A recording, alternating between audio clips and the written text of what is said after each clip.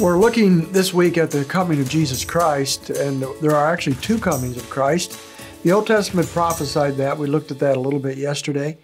Uh, and that was certainly confusing to the prophets, I think, and confusing to uh, the Old Testament saints. And, and until the actual uh, resurrection and the ascension of Christ and his promise to come again, it was probably confusing to the apostles and the followers of Christ. Uh, today we have a much better insight because we can look back and we have the full revelation of the New Testament and we have the promises of Christ who said he would come. And so we're looking forward to the return of Christ. Titus calls this the blessed hope. Uh, there, there's lots of hope found in Scripture. This is called the blessed hope, and it certainly is because it is what all of us who are believers look forward to Jesus Christ returning. Uh, so we're going to look uh, at the rest of this week at the second coming of Christ. The promise coming yet to come is a hope, uh, and therefore it is a blessed hope, and it's a hope that we have great confidence in as we look forward to the return of our Savior.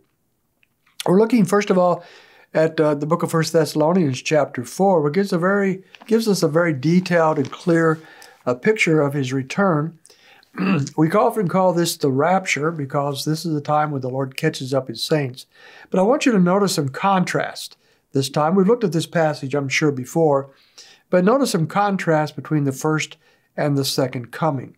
In 1 Thessalonians 4:13, but we do not want you to be uninformed, brethren, about those who are asleep, so that you do not grieve as do the rest who have no hope. So, uh, as uh, he opens up, uh, Paul does about the issue of Christ's return, uh, he knows that some believers have already passed away. And uh, if, if you don't have good information, if you're uninformed, then you might say, well, that's it. There's no, there's no hope for them. They're gone. But Paul wants to make it very clear that this is not the end game. Uh, there is great hope in front of us. And so he wants us not to grieve because we do have hope. Verse 14 For if we believe that Jesus died and rose again, even so, God will bring with him those who have fallen asleep in Jesus. So the incarnation initiated Christ's ministry on earth, but here the reference is to the fact that he ultimately went to the cross and resurrected from the dead. But he also he's going to come back here, and it says uh, he will bring with him those who have fallen asleep in Jesus. That is the the saints, uh, the, those who uh, those believers who have passed away already uh, whose spirits or souls are already in the presence of Christ, they're going to come back with him. Now, at the incarnation, uh, Christ came as a, a physical infant, uh, conceived by, by the Holy Spirit, and then birthed by Mary uh, in a literal sense. It, it was a baby.